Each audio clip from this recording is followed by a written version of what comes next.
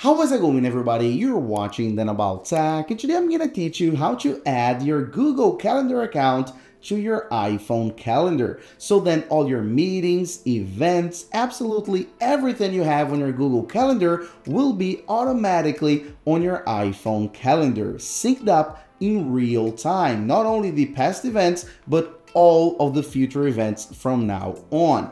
And you'll be able to check every single detail on your events or meetings, including if you have a video call, the links, absolutely everything. As you can see, the exact same meetings and events that I have here on my iPhone calendar are also here on my Google Calendar as well, the exact same thing. So without further ado, let's go ahead and get started. So the process itself is extremely simple and all we need is to open up our settings and then right here at the top we have the search bar, tap on it and then look for calendar. It's just much faster this way, all right? Then tap here on calendar as you can see and then right here we already have calendar accounts tap on it, and then that's all we need. Please keep in mind that we have two possible scenarios right here. Scenario number one, your iPhone is just like mine and the only account you have is your iCloud account, so your Apple account. That's scenario number one. I'm gonna show you how to add your Google account and then enable your Google Calendar. In scenario number two, maybe you already have your Google account right here. You can already see it, but your calendars are not synced up. I'm gonna show you that scenario as well. So scenario number one, we're gonna add from the beginning. So let's go ahead here and add an account.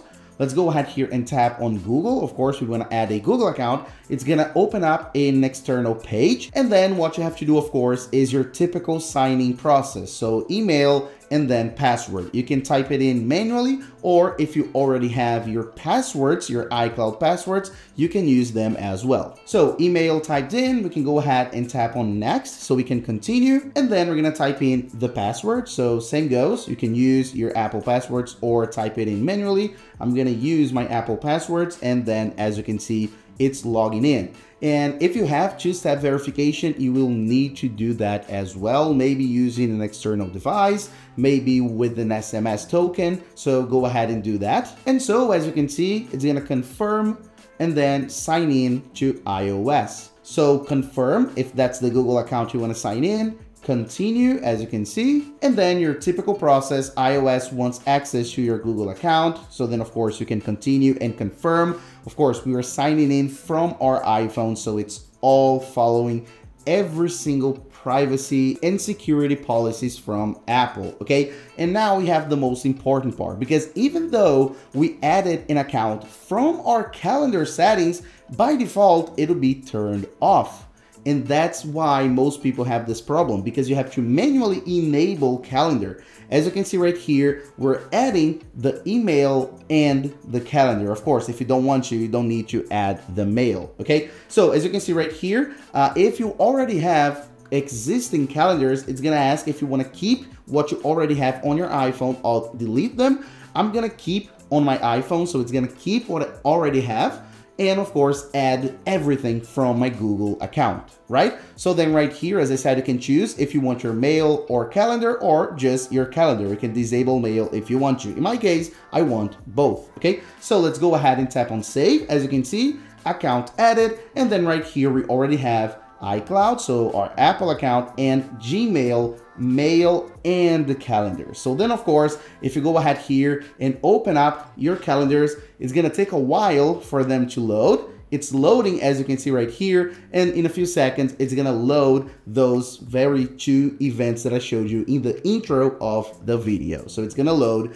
in a few seconds. And of course I didn't forget about scenario number two. So if you already had your Google account set up on your iPhone but you're not seeing your calendars on your iPhone calendar app and all you have to do, guys, is go back here to your calendar accounts, right? So our calendar settings, calendar accounts, and then tap on your Google account And all you have to do is just check Google Calendars because probably what you've done when you added your Google account in the past is you just allowed your email, you forgot about your Google Calendar. So all you have to do is enable it, very same process, keep on my iPhone. So it's gonna load right here and then just wait a few seconds. It's gonna start loading and then you're gonna see all your events. And so as you can see, we've got here our events, just like you saw in the intro, paired and synced up with our Google Calendar events as well, meaning that we have finished our process. So that's literally it.